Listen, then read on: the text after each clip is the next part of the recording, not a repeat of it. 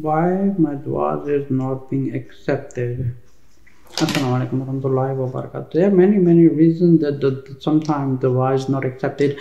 But we have to understand something. The dua is not accepted. That does not mean Allah is not listening to you. Because thinking like that Allah does not listen to you, that is a kufr. Because um, maybe Allah wants to test you more. Maybe it is the right time that Allah wants to give you uh, something on the right time when you deserve to have it. Because maybe a person doesn't know but Allah knows better than the person when is the best time to give him. And also if his dua is not accepted maybe Allah wants to give you on the day of judgment more than you accept and he's saving all your requirements and whatever you're asking in this dunya he's saving for you for your akhirah. Maybe he doesn't want to give you in dunya. So by by by thinking like Allah is not listening to you Allah is not fulfilling your duas this is thinking like that this is a kufr. But rather Continue making your dua until you die and just rely on Allah that your dua will not be wasted and Allah knows what's in your heart and what is the best time to give you.